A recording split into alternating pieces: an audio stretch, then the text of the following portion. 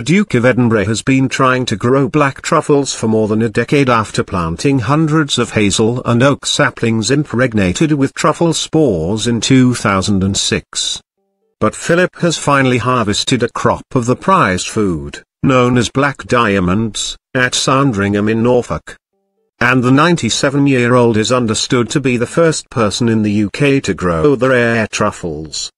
Adrian Cole, director of Truffle UK, which supplied Philip's trees, said, they have been highly successful.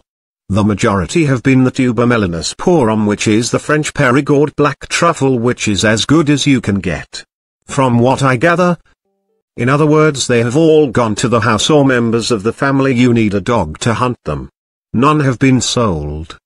If you only go once every three or four weeks you are not going to produce very much. But if you go on a regular basis during the growing season you will increase your yield no end.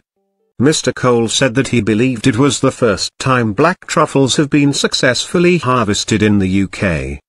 However the truffle expert was not able to comment on the size of the crop. He said, you will never get that information out of a truffle plantation owner. They are very secretive about it.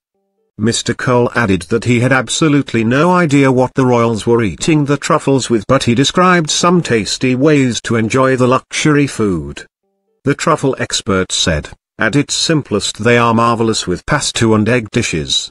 You don't really want to cook with them, it is rather like parsley or chives. You put them on a hot dish when done and serve immediately.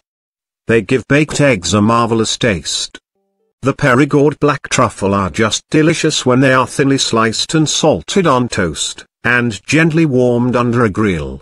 You can also put them in pasta. There are loads ways of dealing with them,